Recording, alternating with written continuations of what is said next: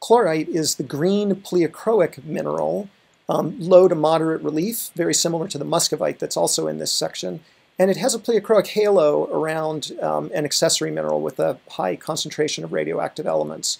It has this unusual interference color, anomalous interference color. This one is sort of a brownish green color, um, and that's characteristic of a magnesium-rich chlorite.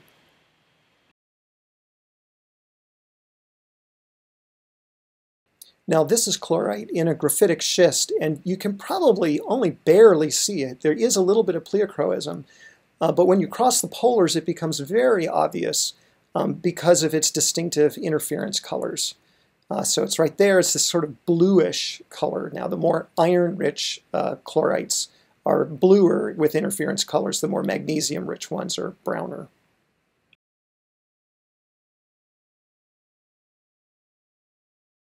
This is chlorite in an amphibolite, um, so that's all hornblende around it. And mostly I put it in there to show it has lower relief than amphiboles. It's more of a grass green than an olive green um, in, in terms of its pleochroism.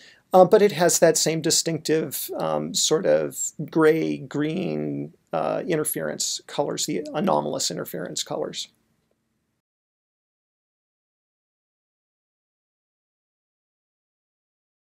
Here's more chlorite, but now the flake is oriented parallel to the surface of the thin section. So you're looking down on a cleavage plane there.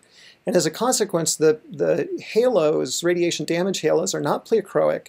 And when you cross the polars, it is pretty much just black in, um, in, in cross polars. So that's also chlorite. It has a distinctive green color, but in this particular orientation, it doesn't have the same pleochroism and interference colors.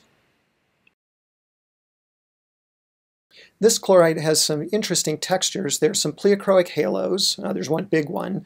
Um, there's a bunch of little ilmenite inclusions in there. That could be because it's formed um, as a retrograde product after biotite. Biotite has a lot of titanium in it.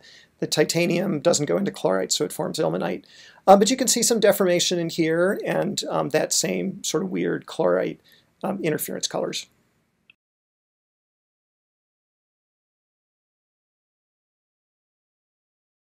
Now this is a really interesting chlorite. Um, it doesn't, I mean, it's got the same green light pleochroism of, of all chlorites, but when you cross the polars, what you'll see is it has two different anomalous interference colors. There's this sort of brownish greenish uh, color, the khaki color, and there's also that um, anomalous blue color. Um, it's unusual to find them both in the same crystal.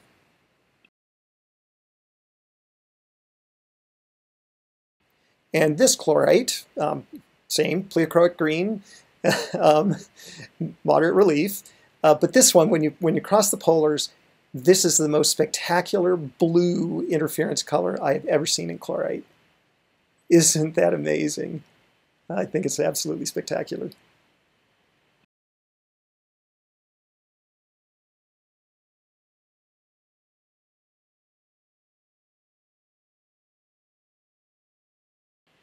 And this is an unusual chlorite. It's a little bluer in plain polarized light for pleochroism than most. Um, but what makes it really distinctive is when you cross the polars, it has the most spectacular purple color.